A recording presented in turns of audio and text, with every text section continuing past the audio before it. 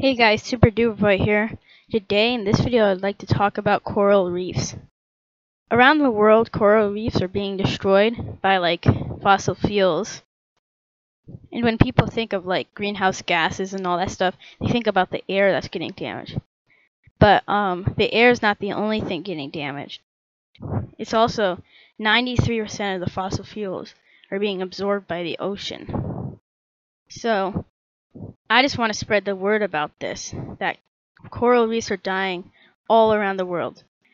Like in this image here, you can see a dead coral reef. In just months, a coral reef will die because of the warming temperatures that kills the cells inside a coral reef, inside a um, coral. Every year, over 25% of the Great Barrier Reef in Australia, the biggest coral reef in the world, is is destroyed. Before the coral reef dies, it has it does something called bleaching, where when all the cells are dying, it turns white and then it just crumbles. So yeah, this is a really big problem, and it's very overlooked because of the problems in the air.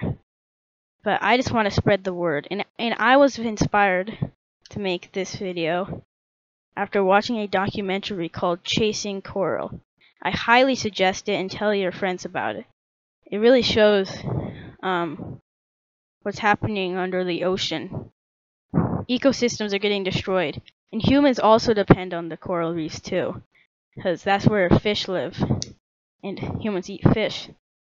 So yeah, I really suggest that documentary, and to help, and if you want to help with this, then just to make a just to make a little difference, make sure you turn off lights in rooms you leave and all that stuff try and conserve as much energy as possible. That's it.